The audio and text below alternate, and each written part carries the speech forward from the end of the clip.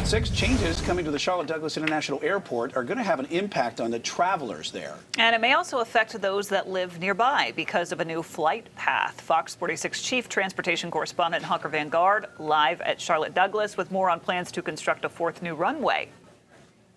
The addition of a fourth parallel runway right here, actually, where I'm standing at the Overlook Park, is necessary to make Charlotte a super hub of commercial aviation. But with that comes an impact to the community. It's it's not too loud there. Now here I'm, I work in this area, and of course we hear it very well here. So I guess we'll be have to deal with it. Residents and business owners along the south edge of Charlotte Douglas Airport are preparing to hear and see airplanes flying overhead more often.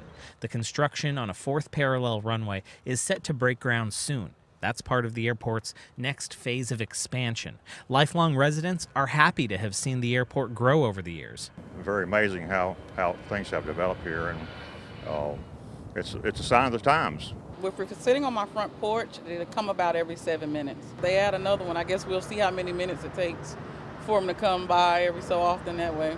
But with more planes comes more noise and other pollutants. The latest draft environmental assessment looking specifically at how the increased air traffic will impact schools, churches, and homes along the flight path of the proposed runway.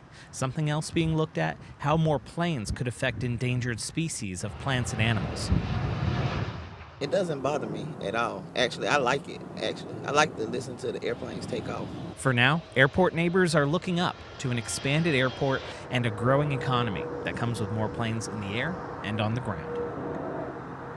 Keep this in mind. All of our voices are attached to these public projects. We're the taxpayers, after all. So, if you want to give your opinion on how you think this is going to affect the environment around the airport, go to our website, fox46.com, find this story. There's an email and a website you can access for more information about that. Additionally, there's a public workshop that's going to start on May the 17th.